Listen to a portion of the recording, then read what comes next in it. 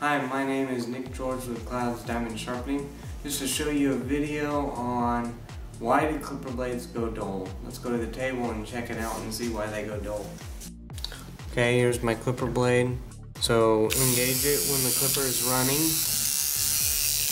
Make sure it latches. Okay, so why does the clipper blade go dull? Um, first of all, it's hollowed out of the blade, so when it gets flat, it starts pulling on the sides or in the middle because it has no shape to it. Um, so when you don't use oil and you go through like a dirty dog, well here, here's a here's dirt. Sprinkle it on there. Okay, see the dirt?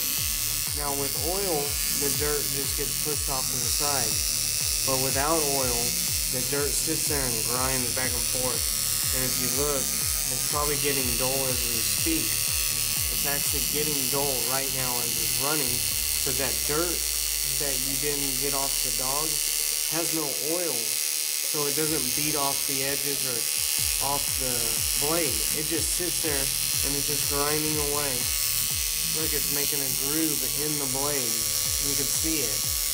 And this is a ceramic blade, so it shouldn't be doing that. But anyway, uh, that's why clipper blades go dull.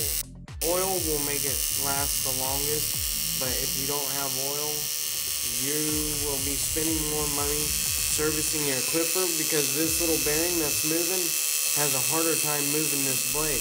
Your blades go duller faster, and I mean, it's all around bad. You're going to spend a lot of money in your career and you're going to waste a lot of it. Alright, well, thank you for this wonderful adventure. Talk to you later. Bye.